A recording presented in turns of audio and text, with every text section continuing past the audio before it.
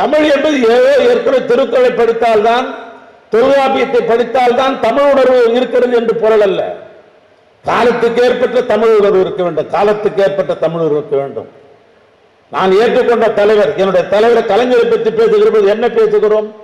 முத்தமிழ் அறிஞர் என்று சொல்லுகிறோம். ஏற்றமிழ் இசைத்தமிழ் நாடகத்தமிழ் மூன்று உணர்ந்தவர் ஆனால் அவரை முத்தமிழ் என்று சொல்லுகிறோம். நான் அரசியலுக்கு அப்பாற்பட்டு இந்த மேடையில் நின்று பேசிக் கொண்டிருக்கிறேன் ஒரு ஒருவருக்கும் ஆற்றல் உண்டு.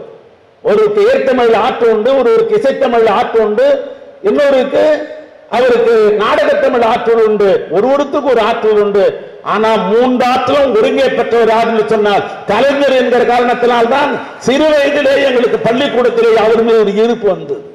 திராவிட இயக்கம் ஆட்சி பொறுப்பு வந்த உடனே தாம் பிறந்த மண்ணுக்கு தமிழ்நாடு என்று பேச விட்டு வேண்டும் என்று அண்ணா பேசுகிற அண்ணா சட்டத்தை நினைத்த போது நாங்கெல்லாம் மெய்சிலித்து என்று போன மாணவர்கள் நாங்கள் எல்லாம்